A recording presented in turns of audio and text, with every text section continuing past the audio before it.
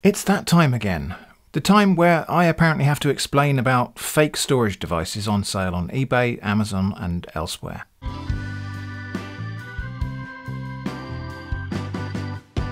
I've made a number of videos on this topic in the past, the most recent being this one in January 2021. Inevitably, as time passes, people begin to imagine that with the general trend of technology going down in price and increasing in power or capacity over time, that because the video is a bit old, the information in the video must be out of date, and the products people see with the current prices and capacities must be genuine. What am I talking about? Well, flash storage devices like this, or this, which you will find on Wish, on eBay, on AliExpress, on Amazon, and yes, in some cases in actual physical bricks and mortar retail stores. I'm not going to go into the technical detail of how these things work, see the previous videos for that, but these devices report that they've got terabytes of storage when you plug them in, but it's spoofed. If you copy files to them, you will lose your data. Formatting, partitioning, checking the properties does not reveal the fraud, and it doesn't matter whether you're using Windows, Mac, or Linux.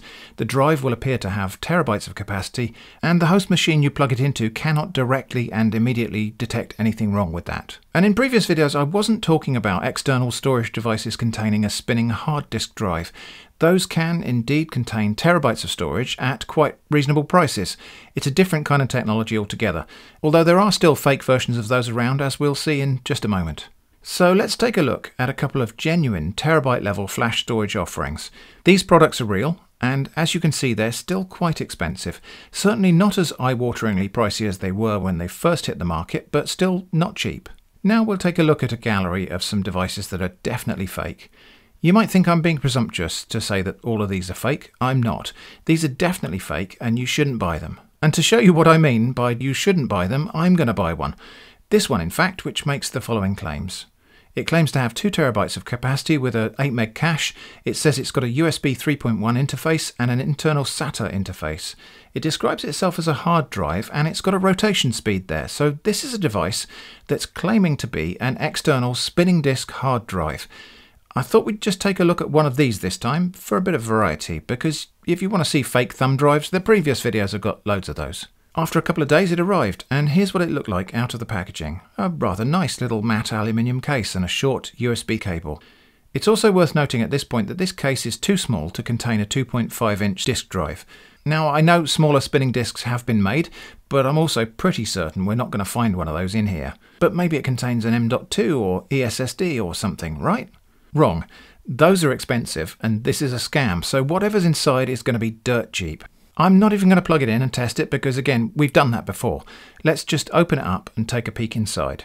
The two little end plates come off after removing the screws and inside we can see mostly empty space plus a huge blob of hot glue. At this point I had all I needed to claim a refund on Amazon. It's clearly a fake drive, I told them so and they promptly refunded me.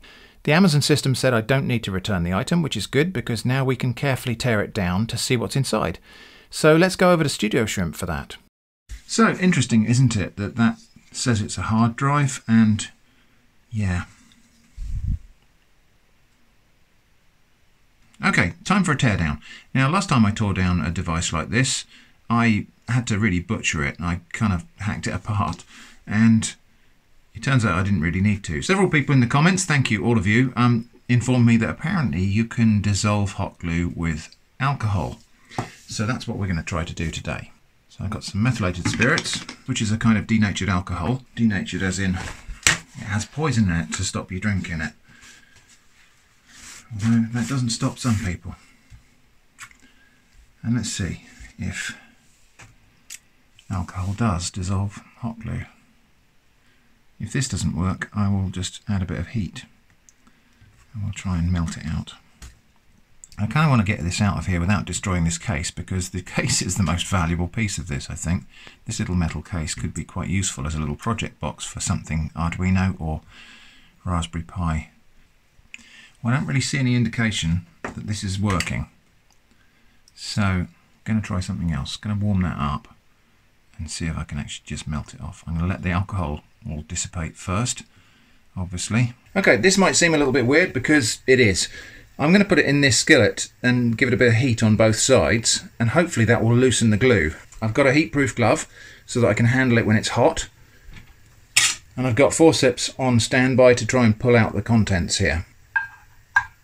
Kind of funny how everything eventually turns into a cooking video on this channel. Just saying. Oh, I think it might be moving actually. Right, so let's just see if we can do this with the. Yeah, here it comes. Okay, right, well, there it is. That's what was in there. Now, while the opportunity exists, I am going to try and pick out this hot glue that was in there, this big blob, because I want to try and reuse this case. Okay, well what I found inside was a little bit surprising, but not in a good way, so don't worry about that. Let's have a look at what we've got. There's the USB-C connector. Now I expected this just to be a separate board, kind of glued on and then soldered across on the four backward compatible wires to the USB 1.1 interface, but it does look like that's a native USB connector. So, you know, I guess they got that bit right. What really surprised me was what they're using for storage on here, which is a micro SD card. So this is actually, this board is a little micro SD carrier, which is obviously designed to have either USB 2 or 1.1 on one end and USB Type-C, so 3.1 on the other end. Quite interesting, isn't it? What do you think the chances of that SD card, that unbranded black, probably unmarked SD card, having a 2 terabyte capacity, what do you reckon the chances of that are? I would say slim to none. I mean, it's completely unmarked card.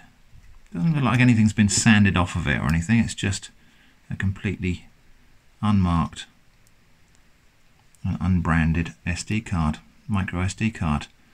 Nothing at all on there to indicate capacity. So there we go. That's what's inside that device. I hope it's clear by now that this is fake. I mean, it it doesn't meet the specifications. So let's have a look at the specifications. Specification said USB 3.1, so okay, maybe. They said it was a spinning hard drive in here. That's not what that is. And they said it was an internal SATA interface, which clearly it isn't. It's internally micro SD. So I hope that's been enough to establish that this device is fake. I am tempted to go ahead and test this, but we'll see about that. And if I want to reuse this case, I think I will have to get myself some isopropyl alcohol because that did not clean up well. Uh, methylated spirits, which is methanol, clearly doesn't seem to touch hot glue at all, which is interesting. What's most peculiar about this whole story is a few days afterwards, I received another package from Amazon. I can't show you the shipping label because obviously that's got all my details on it, but the shipping label was very, very similar. It's hard to tell whether it's the same Amazon vendor because I don't really know which part of the code indicates that, if anything. But what was inside this package was a bar of chocolate. And I didn't order this. This does not appear on my Amazon account. So I don't know where this came from, and I don't think it's an error. I think this is actually a case of brushing, where they've taken my personal details from the order that I ordered on Amazon, and they've created another account with my name and address and details, and they've used that to order something, on another one of their marketplace front ends and then because they've obviously that's generated tracking they've just shipped out a chocolate bar that's generated tracking they can use that tracking to add a review on a product. So I suspect somewhere there's a Milka bar that's busy being changed into some other technological product and there's a glowing review apparently from me on that product which is verified as a genuine purchase. But of course I can't find that. I've got no way of finding that. That whole thing is called brushing, where they basically steal your details from one of your genuine purchases, create a fake account in your name, and then use that fake account to buy cheap items to pad out their feedback. But I don't think I'll be eating this bar of chocolate for two reasons, one of which just being the advice my mum always used to give me, which is don't accept sweets from strangers, but just also because this seems like one of those situations where an excess of caution is better than a shortage. Now, I did decide to test this device a little bit after the teardown, and the results were both weird and confusing. To begin with, let me make it perfectly clear that I acknowledge the possibility that I could have damaged that little board when I heated up the glue or peeled it off. That's possible. However, it's undeniable that what was inside this product does not remotely resemble what was advertised. And I hope we can also all agree that this micro SD card here is vanishingly unlikely to be a 2TB card. In testing, which I did on a machine that's not my main production machine, Plugging the device in appeared to be doing more than just attaching storage. It encountered an error. Okay, that could be my fault, as previously mentioned. But when I pull that micro SD card and plug it directly into a passive adapter, I get nothing at all. No device present. I tried two different adapters, one active and one passive, even though I know both of these adapters do work. Gparted does show a 2TB disk though, so my best guess here is that the spoofing is actually done on this carrier board. I think the SD to USB adapter here has had its controller reprogrammed to report a 2TB storage volume, and maybe it isn't even trying to store anything on the SD card at all, although it does seem to need it there. I tried it without the card and it does nothing, but I also tried it with a 32 gig micro SD card of my own that I know works, and that didn't even turn up as a device. So whatever's going on here is quite arcane, and perhaps it's even that way on purpose. Anyway, in conclusion, fake flash is still everywhere, and fake spinning hard disk drives also exist. The main takeaway I think for this is please don't assume that the passage of time is going to make scams just stop happening. That isn't the case. I don't really have any 100% solid advice on how to avoid the fakes, because there are even cases where counterfeit branded products get mixed in with real branded products on the shelf at Amazon. But the usual rules of thumb are still true. If something looks like an amazing bargain, it really could be a scam. And if you buy any kind of removable storage, test it fully. And I don't mean just formatting it or checking the properties, use something like H2TestW. Link in the video description. I hope this has been interesting. Thanks for watching, stay safe from scams, and I hope to see you again soon.